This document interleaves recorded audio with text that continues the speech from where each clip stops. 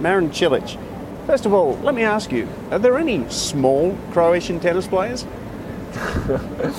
well, uh, outside of top 100, yes, but in, in the top 100, not really. Uh, I mean, this uh, we have this kind of generation where all of us are pretty tall, and uh, everybody is making jokes about us, which uh, we always find funny. So it's uh, it's it's always good good team when we are around, and we don't we don't need to look down with our heads.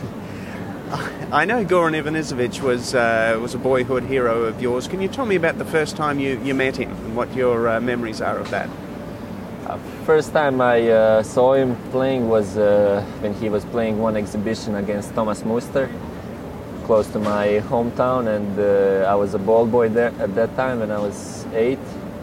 And then the, the first real impression I got was in 2002, 2003 when when I was uh, in Zagreb practicing, and he was in that age where, uh, at that time when he was finishing his career, so he was uh, helping me a little bit, practicing with me, and uh, he also introduced me to to my present coach, Bob Brett, which was his coach at, uh, at his beginning of his career. So it was really nice time with him, and uh, he always was a good guy and always wanted to help. So I'm really grateful to him. How would you assess your 2009 season so far? You've uh, won two titles in Chennai and Zagreb, and round of 16 at the Australian and, and French. Um, are you uh, you happy uh, with your season so far?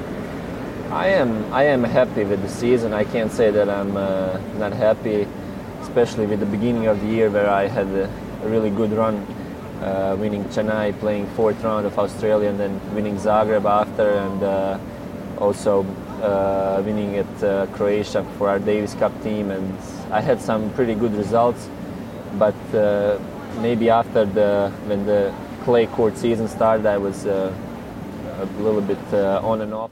Even as a junior, did you have a very free swinging, aggressive game? I would say I was always more all-round player with okay, with solid service, with my height, and uh, I would say I'm moving pretty good for my uh, for my height too, and uh, have some some really good shots. But I think the the game didn't change so much. So much. I uh, just got a little stronger, and uh, with that with that capabilities, uh, the shots are of course a little bit better. And would you say that you've got the game that potentially could take you into the top 10, top 5? Because with a big game like yours, you do have the weapons to beat the big guys like a yeah. Federer or a Nadal.